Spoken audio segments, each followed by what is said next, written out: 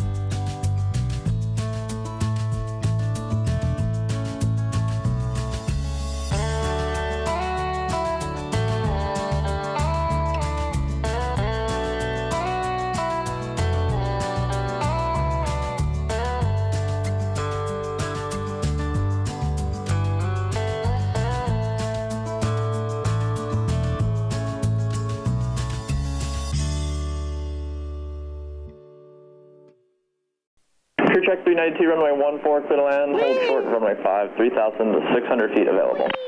Clear to land, runway 14, hold short, uh, runway 5, crew check 392.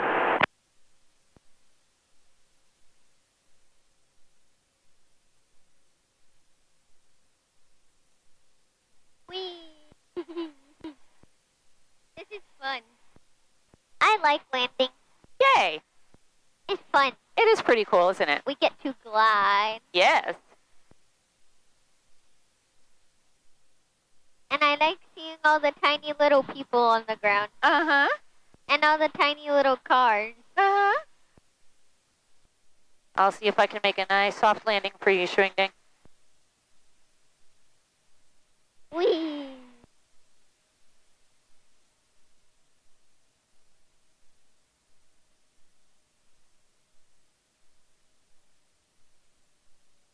We'll try a wheel landing this time.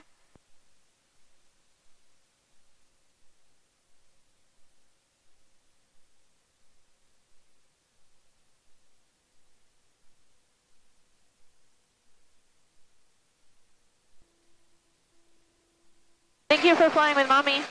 Yeah.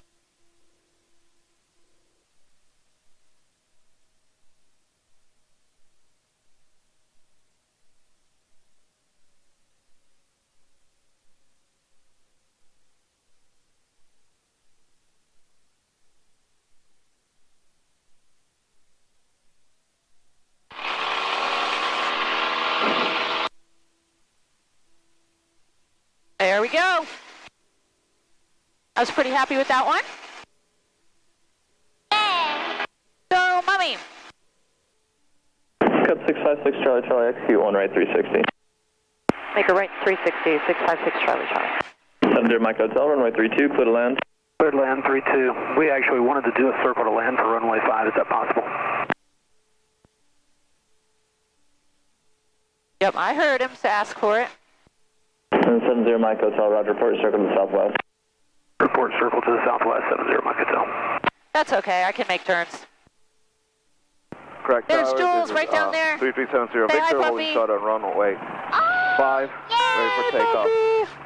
This is 3270 Victor, Craig Tower, runway 5, clear for takeoff, left where's turn our north through. We're right over it right this second. Oh, Clear cool. for takeoff 5, left turn to the north, 3370 Victor.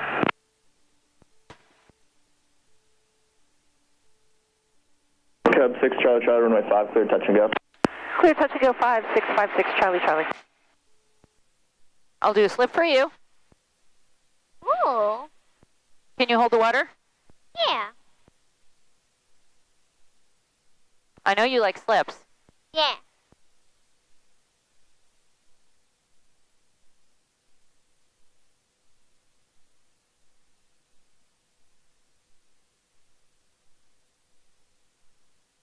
Okay, here it comes. You ready? Yeah.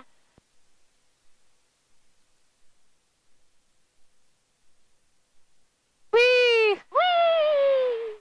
That fun? It's so much fun slipping the cubby. You ready to make it a full stop? Uh, can we keep going? One more? Yeah. Okay. This is fun. Yay!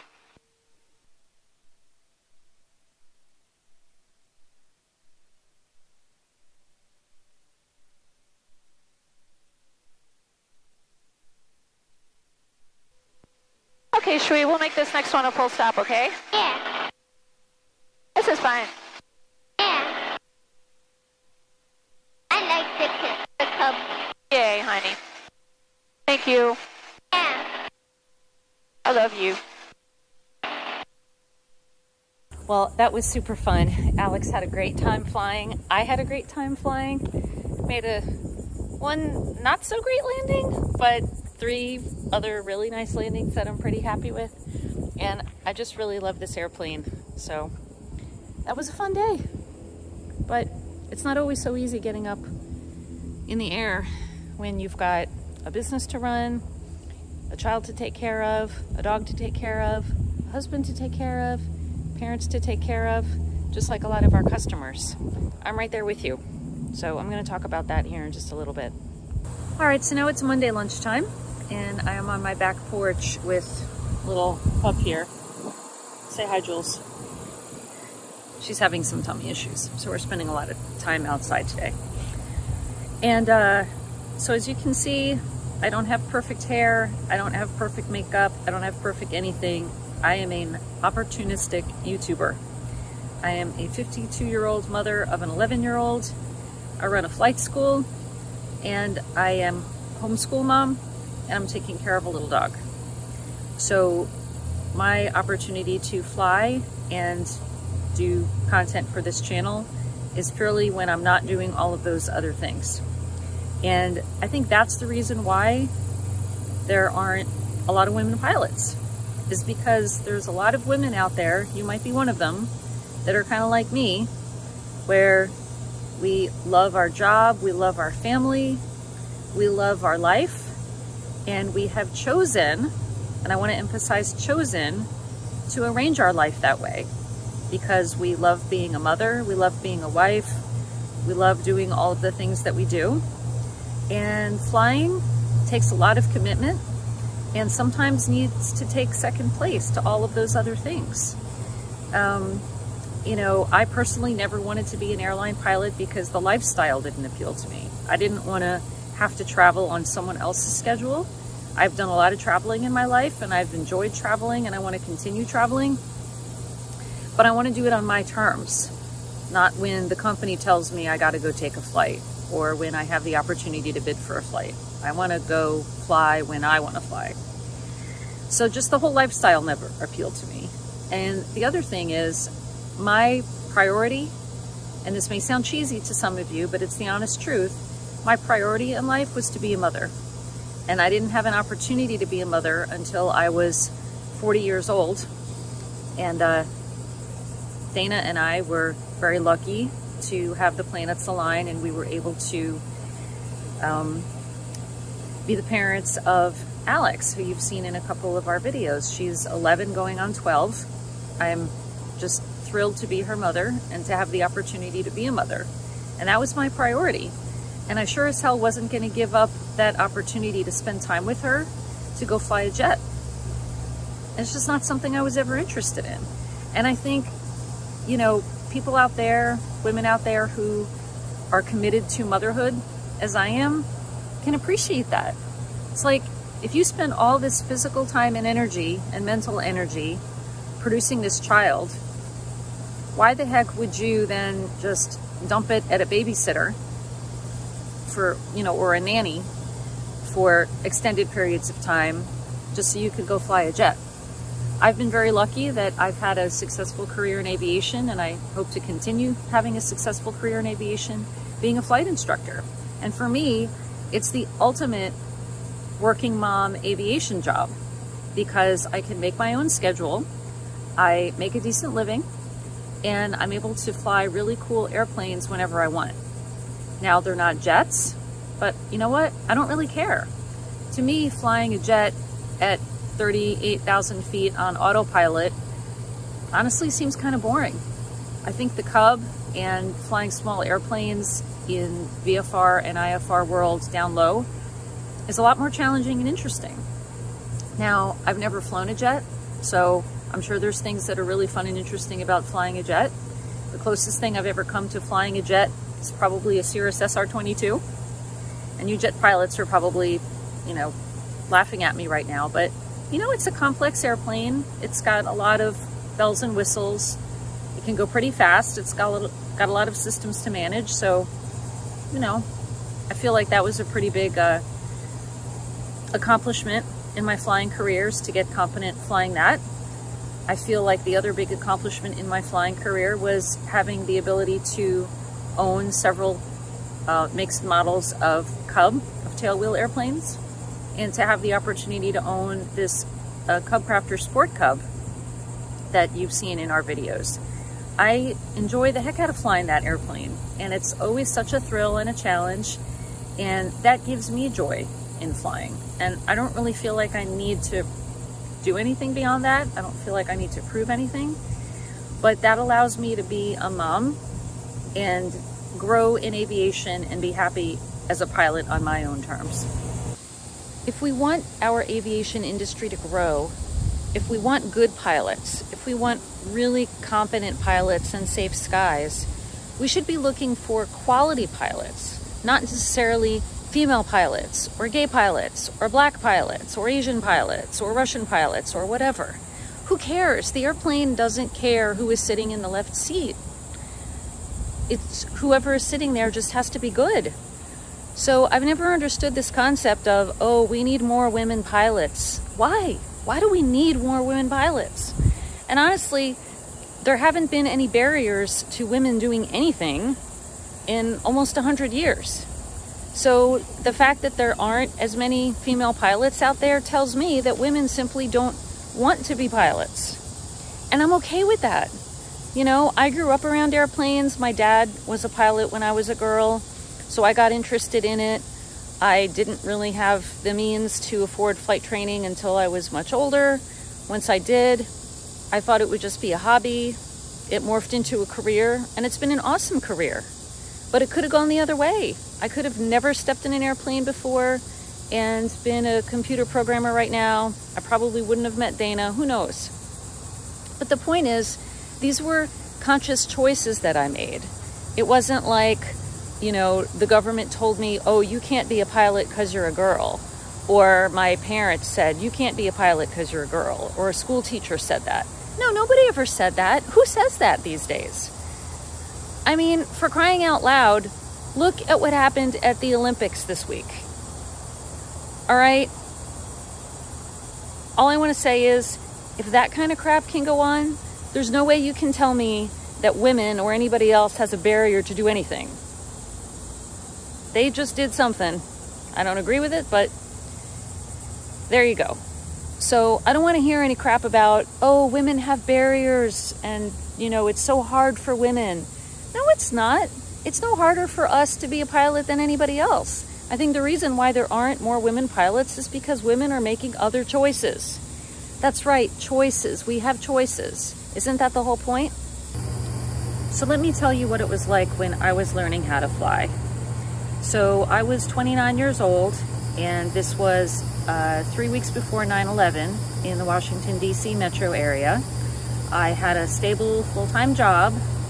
I was married to my first husband at the time and life was pretty okay. You know, I finally had the financial resources to do it, so I decided I'd go for it. I took a few flying lessons from the uh, flight school and then soon joined a flying club at the airport, which was a great option for me. And I was the only woman in a membership roster of about, I would say, 100 males. I think there may have been one other like wife of a member who flew with him every now and then, but I was pretty much the only girl. And it didn't bother me one bit. I never felt like weird. They never made me feel weird. There was never any sort of animosity or condescension or pressure of any kind. I've told people this before. I felt like I had 50 big brothers supporting me and helping me along, which at the time was a super awesome feeling. Um, I can only think of like one other time in the last 20 years. One time when a male pilot uh, behaved in such a way toward me just because I was a woman. And it was actually pretty pathetic. And it didn't get me upset. I kind of smiled politely and then laughed at the guy and felt sorry for him. So I think it's just how you approach life and deal with people. Um, I was a member of a women's pilots group for several years, and I joined only because some members of my flying club were like, hey, there could be good opportunities for you, you know, scholarships and whatnot if you want to get advanced ratings, social, so why don't you join this group? And I did, and I met some really cool people. I flew with them. A couple of them came to my baby shower. Hey, Alex. Hello. I was just telling these folks about um, me learning how to fly. So it was kind of fun, but honestly, I never felt like I needed to be friends with those girls or I needed to fly with those girls. You know, it was kind of cool, but I left the organization because I realized that, again, it was like, okay, our mission in life is to convince other people that they need to convince more women to be pilots. You know, it was almost like um, religious people trying to recruit other people to join their religion. It's like, why? Why can't you just believe what you want to believe and leave everybody else alone? So I remain friends with some of those female pilots. They're, again, really good people. But I just felt like the organization just didn't really make any sense for me. So I left and just did my own thing and have been happy as a clam ever since. So, in short, I think the reason why there aren't more female pilots is simply because females are choosing to do other things. You know, you could flip the argument around and say, why aren't there more male fill in the blanks? And I'll give you a great example from our personal experience people who ride horses. So, you've seen in my other videos how uh, our daughter is very much attached to the equestrian lifestyle at this point. She may end up choosing that as her career. She's only 11. I think it's still too early to tell, but we're encouraging that. Every single event we go to, it's almost exclusively females. We visited the World Equestrian Center last week on a little field trip and went to some uh, show jumping events, and it was almost all girls. So, why aren't there more male equestrians other than jockeys? I don't know. You tell me. I guess men are just choosing to do other things. So, is there a push to have, let's have more male riders? I guarantee you, if there were, you know what would happen? Females would complain, You're being sexist. You don't want us riding horses. And the males could argue, No, we just simply want there to be more male riders so we have more guys to hang out with. We feel it would be much better if there were more males riding horses. And that's exactly the argument people are making with the female pilots is, oh, the aviation industry needs us. You need to have more female pilots. No, you don't. You know what we need? We need more good pilots. We need more competent pilots. So please take that to heart. If you're a female, if you have girls, if you are a girl and you're watching this, I think it is totally awesome if you want to learn how to fly airplanes. I think that's wonderful. But let's do us all a favor and just please stop this argument that we need more female pilots. We don't.